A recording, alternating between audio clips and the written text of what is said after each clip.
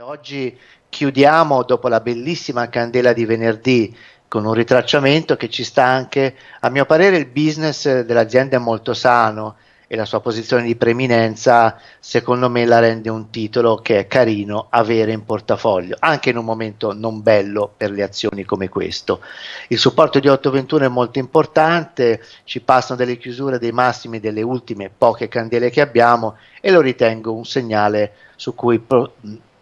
postare la massima attenzione anche in vista delle prossime sedute, nelle quali però spero che le borse possano far vedere, magari già anche a partire da domani, un tentativo di reazione che se fosse impulsivo sarebbe da prendere con le molle, se fosse eh, sterile e fragile sarebbe da prendere con la giusta delicatezza perché oggi a mio parere anche considerando i volumi forti che sono passati sui mercati, oggi è una giornata veramente che depone male per tutta la settimana. Un rimbalzo ci sta, ma direi di essere veramente prudenti perché stanno franando dei livelli importanti.